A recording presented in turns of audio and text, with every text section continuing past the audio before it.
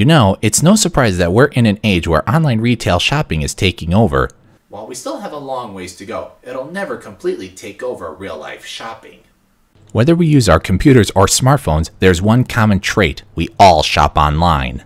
Regardless of whether we shop for clothes, toys, or whatever, most companies are pushing their businesses into the digital age. Speaking of the digital age, games seem to be the most popular thing people buy, and in this series, I'll be discussing the pros and cons of two of the most popular game sites, Steam and GOG.com. I'll be starting the series with the pros of Steam. The first pro of Steam is that the service is free for download.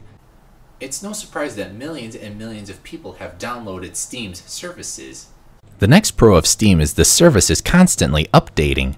Most of the updates are worth it, but Steam has missed the mark a few times, but not enough to be considered a con. The next pro is finding friends and adding is easy. The real catch is making sure the person you're friending can be trusted. Another pro is if you want to add funds, you get a variety of methods of doing so. The easiest and probably safest way of doing so is to purchase a Steam card and add funds. Another pro for Steam is its own DRM. Okay, so maybe not the best, but not the worst. And DRM is too difficult to explain in this video.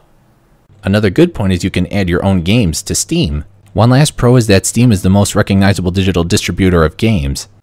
It's probably because it's the easiest way to get games. That takes care of part 1. Part 2 will focus on the pros of GOG.com.